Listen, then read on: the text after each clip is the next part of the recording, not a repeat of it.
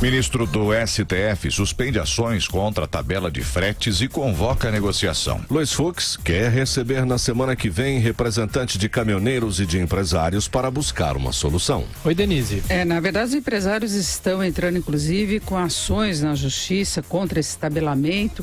A CNI entrou com uma ação direta de inconstitucionalidade pelo tabelamento, que na verdade se tenta tabelar o valor mínimo. É uma coisa inédita. Normalmente você tem um teto para os preços e não o mínimo.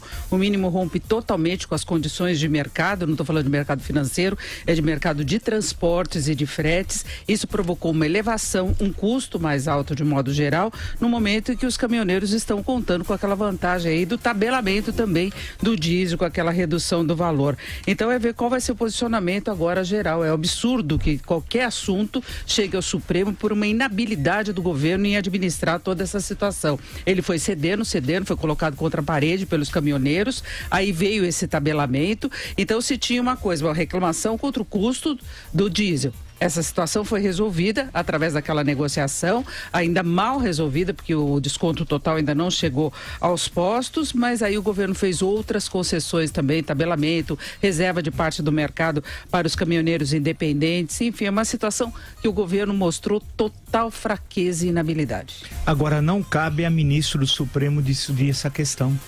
Eu acho que o Luiz Fux não leu a Constituição. Não cabe ao ministro do Supremo discutir uma questão de frete. Ô, ô, ô, ô, topete, vamos chamar ele de topete, porque ele tem um topete. Queria saber quantas horas ao dia ele perde penteando o cabelo, o ministro Luiz Fux. Isso aí não cabe. O senhor não sabe que o senhor é ministro da Suprema Corte, isso é um assunto do Executivo. Se o senhor fosse chamado para intermediar e ajudar a solução, poderia ser até aceitável. Até. Agora não cabe o senhor convocar essa reunião. Isso não é função da Suprema Corte. Isso está na Constituição, homem. Que o senhor deve ter lido, presumo. Agora, professor, entraram com uma ação direta de inconstitucionalidade chamando o Supremo para ah, discussão. Isso daí foi encaminhado ontem para a Confederação Nacional da Indústria. Hum. Outros também, eles estão falando que existem vícios de constitucionalidade na MP 832 hum. e nas portarias que foram baixadas pela Agência Nacional de Transportes Terrestres. Então, o Supremo foi chamado a essa não, mas não pode, né? Não pode. Não pode. Eu, eu acho que o governo deveria ter resolvido, é o governo, né? Vai claro. ter uma assembleia de caminhoneiros e empresários lá, imagina. Exato. Brincadeira, Mas é, é, é, o que o governo fez em relação à greve. Ele fez tudo errado, né? Fez tudo errado.